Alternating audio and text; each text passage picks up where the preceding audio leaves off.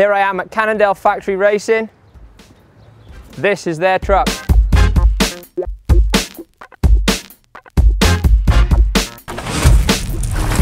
going to take a look inside, see what they have. This is a hospitality for their guests that arrive over the weekend.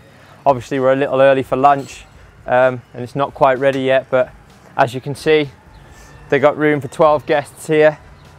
On the left here, you have all the riders' bikes. Each rider has their own fancy mat with the, the nation that they're from, the name, and in this case is their Twitter or Instagram handle.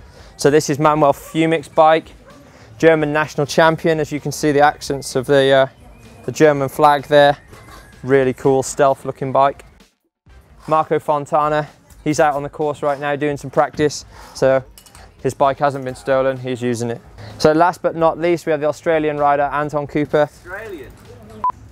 Okay, so last but not least, we have the New Zealand rider, Anton Cooper. This is his bike. Actually, these are both his bikes. So there he is over there. Uh, he's off out to do some practice now. So this must be a spare horse. Moving further back from the, from the bicycle display area, we have Italian's finest man, probably should be the Pope, but he likes working on bikes. This is Giacomo, he's a head mechanic here, working for everyone. Yeah. He looks after four bikes. Yeah, it's not like a downhill. I can't look after my own bike, never mind four. One thing that's worth mentioning is all these airlines are actually routed through the frame of the awning, so they can just sort of pull down, pump tyres up without any trouble at all. That's pretty much it for the outside. Let's go have a look in the back of the trailer here. Right, so stepping into the back of the trailer, this is like where all the storage is. As you can see, travel with quite a lot of wheels. So there's eight bikes that will be stored in here when they're on the move. And not only that, there's 24 sets of wheels that, that travel with the team. All these bags are labeled. So this is a mud set of tires and that's for the FSI hardtail race bike. Moving to the right here, you've got a scalpel and that has got a Rocket Ron tyre set on it. The reason for this is that they have a slightly different offset on the, on the hubs, the rear hubs, so therefore they need a different wheel set for the two bikes. okay, so across here, these are the Nobby Nics, a little bit more of an aggressive tyre. Um, they inform me that each box has 20 tyres, so they know they've got plenty of tyres to get for them through the weekend. 20 tyres would last you a year, right? This is very cool. So this is a little like handheld comp compressor. Pump the tyres up completely wirelessly. So that's great for sort of maybe going to the finish line or in a, in a feed zone if they have a mechanical, they can just pump the tyre up dead quick. Right, upstairs.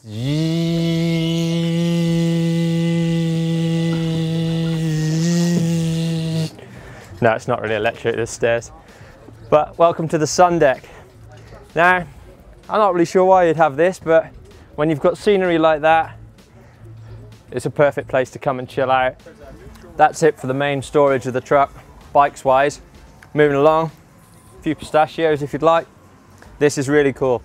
There's a strong Italian presence in Cannondale, so obviously it's a good place to come and get a cup of coffee. This is pretty sweet. As you can see, it folds away bring it out. It sits on the little stand below. Team members only. Hello. So this is the rider's area. Not only is this a sofa, you've got Marco Fontana. This is his own personal cupboard in here. So he's a Red Bull athlete, Alpinestars, nice helmet, Red Bull helmet. What else has he got? Some very bright socks, very cool. Same goes for Henry Avancini, also a Red Bull athlete. Got his uh, very fancy Northwave casual shoes, but you let them loose on the dance floor, but they go like go like the clappers. All the entertainment here, iPod, PlayStation. Everybody loves playing PlayStation, right?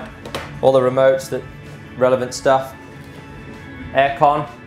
It's really hot here this weekend, so that'll be critical and probably get used quite a lot. Okay, in here, We have a washing machine and dryer. They can keep on top of the washing and pretty much be self-sufficient, which is really important. They can do everything. Can't believe you disturbed me. I was just having a bit of a nap. Right, moving on into the kitchen. So I think this is a pretty unique feature. As you can see, Royf here is putting together lunch for the riders and any guests that will be arriving over the weekend. They'll have freshly cooked food served to them out in the hospitality. So pretty cool. Got the fridge here for the main supplies. I don't want to get in his way too much. He's in full flow for lunch. Got a steamer for steaming vegetables and so on. All his sort of condiments and herbs that need uh, need adding to the mixture. Looks like he knows what he's doing, doesn't he? It smells really good.